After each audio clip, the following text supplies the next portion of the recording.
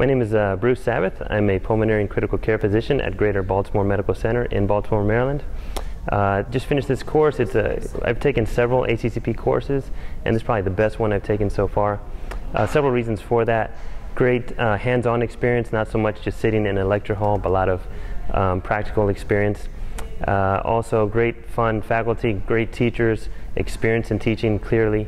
Uh, and then also what I really liked was that they gave us the evidence in the literature behind uh, everything that they taught us so that I know um, uh, how to apply it. So great course, I'm glad I came.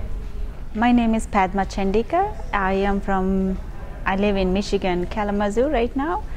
And my favorite part of the course um, is I could learn what I intended to come and learn, which is hands-on practice with bronchoscopy and airway anatomy and the fun part was the Jeopardy.